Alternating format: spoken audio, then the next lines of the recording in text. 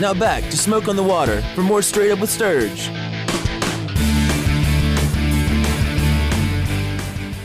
All right, welcome back in. Hour number two on this Thursday night edition of Straight Up with Sturg, live on Talk Sports 104.9 FM. And to the guest line we go. We bring in Will Proctor, all the way from New York City. How things up there in the big city, Will?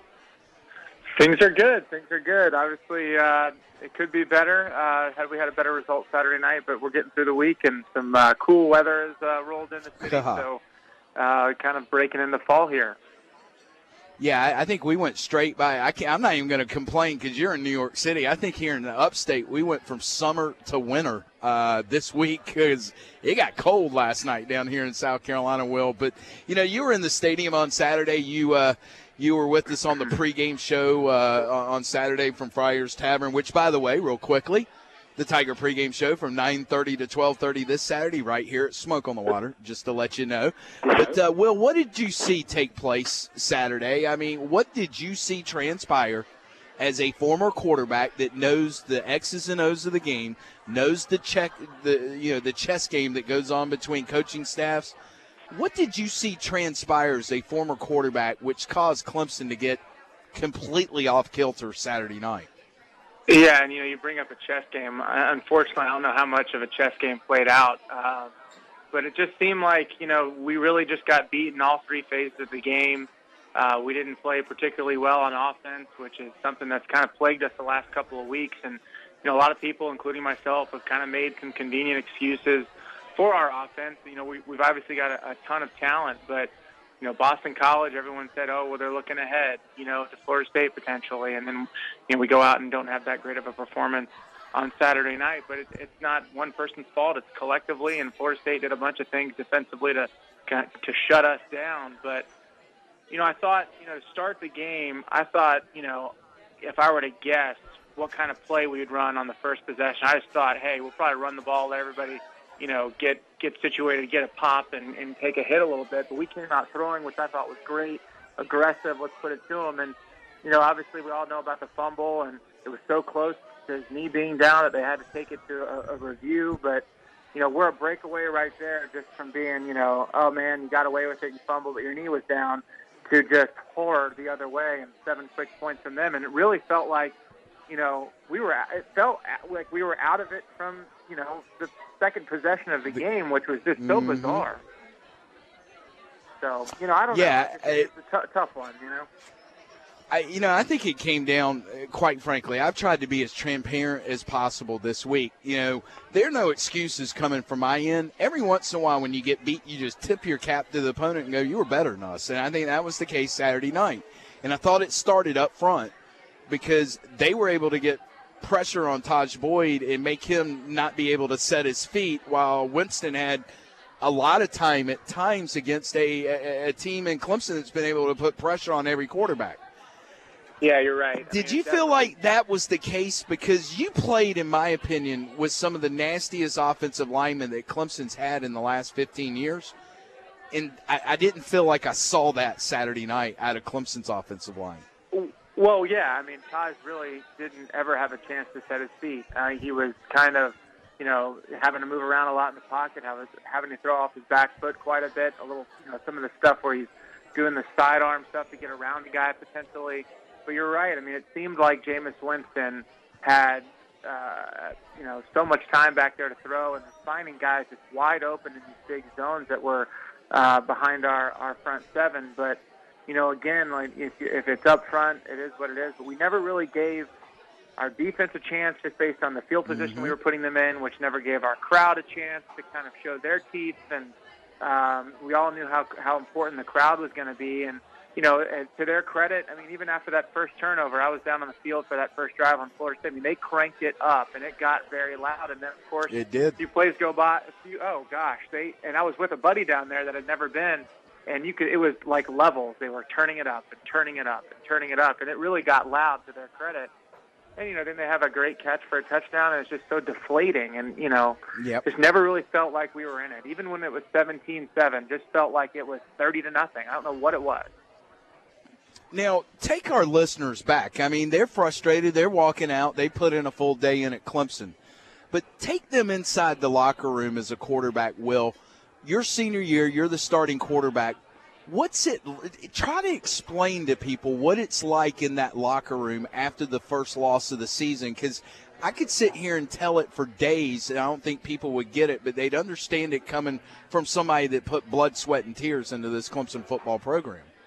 Well, you know, I think it's really easy, especially from a fan's perspective, to go, "Oh gosh, here we go." You know, it's uh, you know a national title. This is the year, and it's over, and you know what are we going to do, and all that kind of thing. But from a player's perspective, you know, like you mentioned, you tip your cap. You know, a lot of our guys know their guys. We were all kind of recruited to the same places and met these guys at camps, and you know, you just kind of, like you said, tip your hat. But but as a player, you know, us fans now, we sit here and talk about it on, on here we are Thursday night and we're still talking yep. about it. Well, you know, they've been preparing for Maryland for four days, and the reality of it is, if they're still talking about it, if our team and our coaches are still talking about Florida State, then we're not doing a very good job of getting ready for Maryland. And that's the reality of it is, you know, while it may seem bleak now, we're still a top 10 team in this country. Yeah. We're still a one-loss ball club with so much on the table left for us to accomplish and when you look at the schedule and you look at the eight teams in front of us, a couple of those teams have to play each other.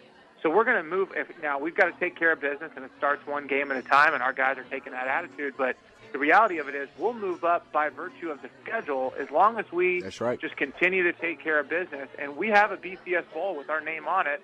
And if things get really crazy, we can move up farther than I think people realize. Yeah, and uh, that's a, there's still a lot to play for. I did a segment out of Columbia yesterday. I went, they're like, "What does Clemson still have to play for?" I went BCS game because they went out. They don't want to go back to Atlanta for the Chick Fil A Bowl. No. We're talking with Will Proctor, former Clemson quarterback, uh, played with uh, played at Clemson from 2003 to 2006. And Will, uh, not only were you a quarterback, when I was doing my research, you were a wide receiver your freshman year. You got on the field as a wide receiver.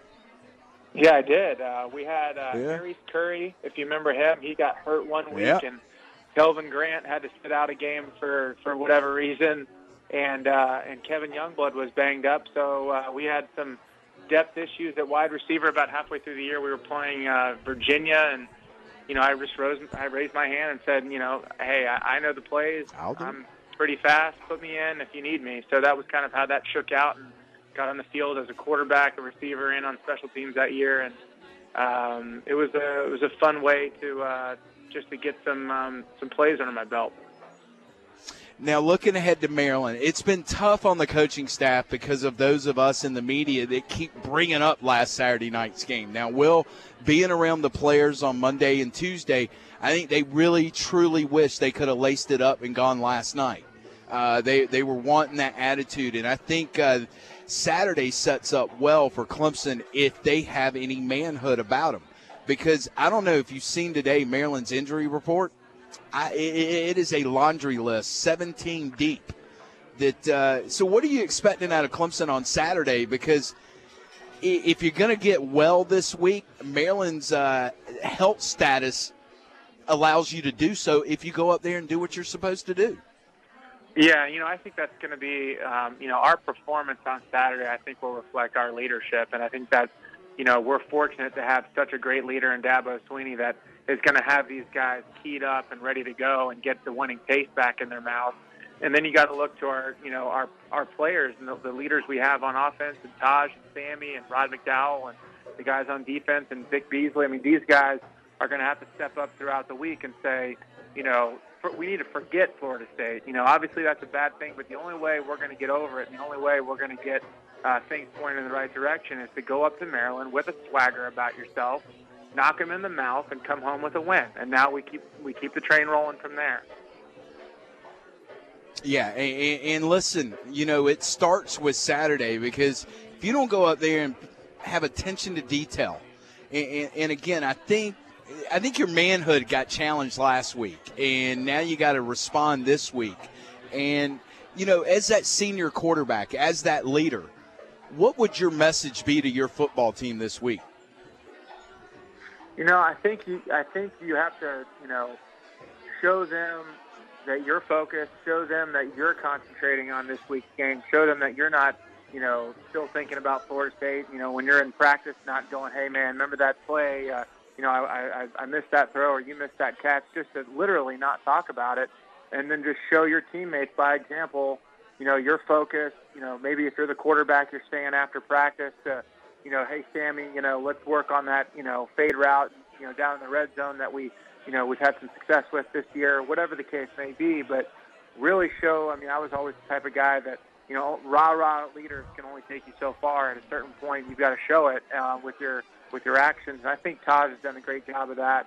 Uh, as long as I've known him, um, going back to you know several years ago, he's a great lead by example type of guy, and I think he's done that this week, from what I understand. Now, Will, you were just talking about rah rah. One of my favorite sayings is from a good friend of mine, Adrian Branch with ESPN. He said one day, he goes, Sturgey, rah rah pregame motivational speeches are for suckers. And by that, he meant you play like you practice during the week, and it's not going to be a coach's speech right before kickoff that gets you in the proper frame of mind. But, uh, you know, you have to take that attitude out there as the quarterback, and because you see different things. Now, I'm going to ask you when you played quarterback, did did, in particular games, did you ever use anything for motivation? I'm going to throw this one out there. It just came out. C.J. Brown is out at quarterback this Saturday for Maryland. So it's going to be Caleb Rowe, a sophomore from right up the road here at Blue Ridge High School that wasn't recruited by Clemson. Would you have played him anyway in this final game against the Tigers to see if he couldn't go out there with a little bit of a chip on his shoulder that final time against Clemson because he wasn't recruited by Clemson, or is all that stuff null and void?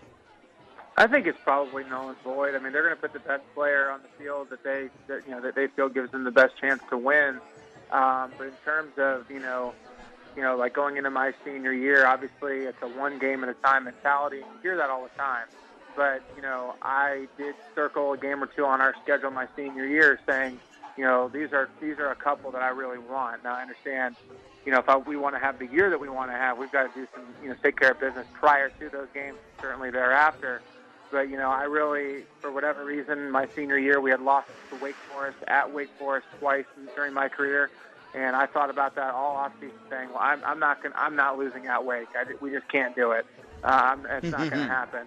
And you know, I had that Florida State game uh, circled on my schedule. Just being from Florida, you know, those are things where they were added motivation, but it's not again rah rah. Hey, I want to be extra focused, and you know, we we better really pay attention to detail all week and apply that uh, attention to detail throughout the game on Saturday.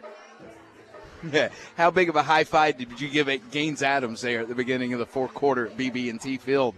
That oh, I believe that was, was your senior year. it was unbelievable, and I remember I remember we had had a tough game. I had a, uh, a ball tipped at the line that was intercepted. Uh-huh. Uh, I, I had a ball go off C.J. Spiller's hands that was intercepted. That was a little high.